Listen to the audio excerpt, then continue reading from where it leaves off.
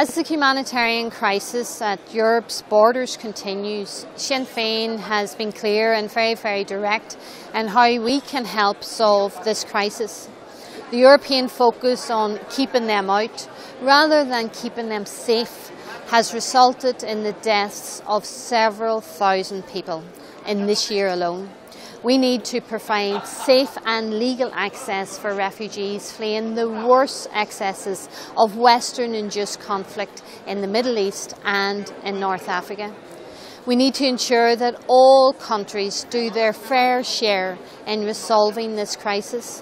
I agree with the EU Commissioner for Migration, who said the response of the European member states has been very, very disappointing. Ireland as a nation can accept thousands of refugees. We must ensure that these people become part of the fabric of our community and not discarded in direct provision sites. We must activate the Temporary Protection Directive and enhance the Syrian Vulnerable Persons Relocation Scheme. And of course, we must suspend the regulations that force refugees and asylum seekers to register in the country they land in, which uh, are called the Dublin regulations. These regulations are in part responsible for the scenes of desperation we have witnessed in months. Sinn Féin has made the humanitarian crisis a priority for several, several months. In June, I travelled to the Mediterranean Reception Centre on Lampedusa.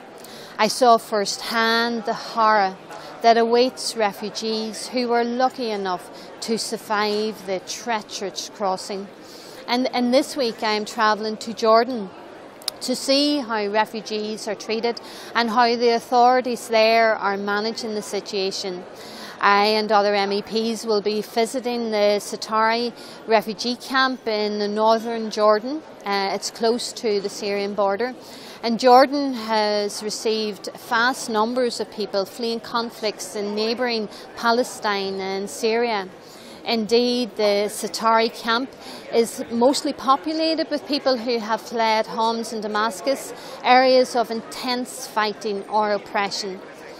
Opened only a few short years ago, there are already over 90,000 people living in the Zaatari camp and it's making it one of the most largest population centres in Jordan. And as a member of the Civil Liberties Committee, I will be assessing the living conditions in the camp and I will be seeking meetings with authorities and who are responsible for managing and protecting the thousands of people trying to survive in the camp as well as talking to the many people who are there. You know, let there be no doubt endless Western military interventionism has brought about dire destruction, misery, and division across the Middle East and North Africa.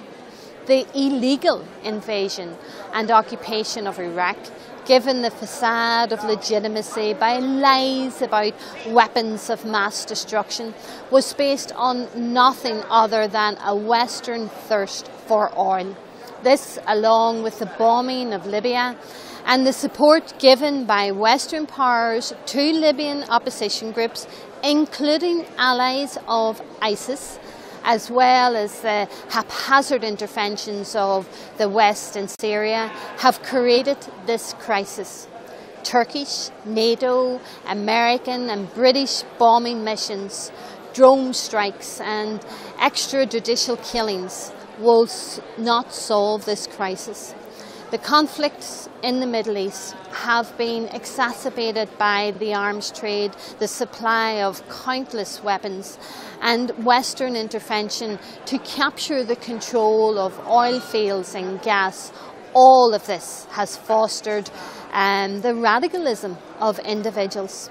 In fact, without doubt, these have contributed to the absolute horror of little children being washed up on beaches and thousands, thousands more drowning in the Mediterranean who are fleeing from these conflicts which are propagated by the West. So I will be reporting back to you uh, details of my fact-finding mission to Jordan when I return.